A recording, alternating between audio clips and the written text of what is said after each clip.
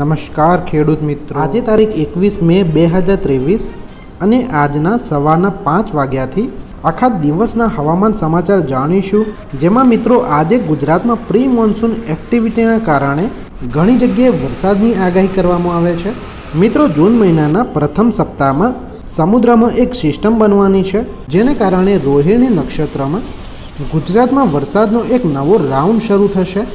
મિત્રો, છવ્વીસ મેથી પાંચ જૂન વચ્ચે એક સિસ્ટમ બનવાની છે, જેથી ઘણા વિસ્તારોમાં વાવણીલાયક વરસાદ થવાનો છે અને ખેડૂતો માટે આ વર્ષ પણ સારું રહેવાનું છે, જે અંબાલાલ પટેલે જણાવ્યું છે. મિત્રો, કયા વિસ્તારોમાં વધુ વરસાદની આગાહી છે, તે આપણે આજના વિડીયોમાં બિલકુલ લાઈવ જોવાના છીએ.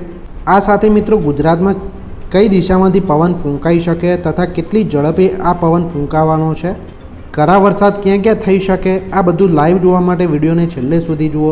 ચેનલમાં જો નવા હોય તો ચેનલને સબસ્ક્રાઈબ કરી લેજો. વિડીયોને લાઇક કરી અને તમારા મિત્રો સાથે અવશ્ય શેર કરી દેજો.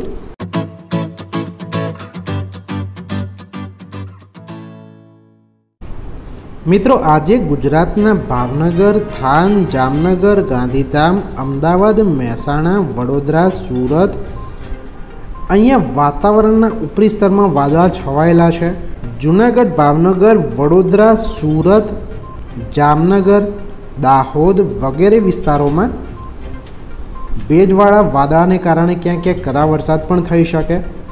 જ્યારે મિત્રો છવ્વીસમી તારીખે મધ્યપ્રદેશ અને રાજસ્થાન બાજુ એક સિસ્ટમ બનવાની છે, જેને કારણે અઠ્યાવીસમી તારીખે અને બપોરે જૂનાગઢ અમરેલી, જસદણ, ગોંડલ, રાજકોટ, મહુવા, મહેસાણા, કુડા, રાધનપુર, રાપર, ગાંધીધામ, હિંમતનગર, ખેડબ્રહ્મા, પાલનપુર તથા દાહોદ, ગોધરા, લુણાવાડા, પેટલાદ, ભરૂચ, રાજપીપળા, બોડેલી, કચ્છના ગાંધીધામ, રાપર તથા કુડા, મહેસાણા આ બધા વિસ્તારોમાં એક નવો વરસાદી રાઉન્ડ શરૂ થવાની આગાહી છે.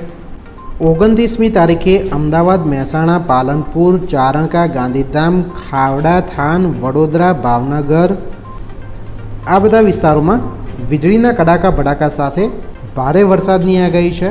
પાંચ તારીખ સુધી આ વરસાદી રાઉન્ડ ચાલુ રહી શકે છે. તમે મિત્રો ચેનલને સબસ્ક્રાઈબ કરી લેજો. કારણ કે વરસાદના આ વિસ્તારો જો બદલાશે તો તમને આ ચેનલ પરથી વીડિયો અવશ્ય મળી જશે.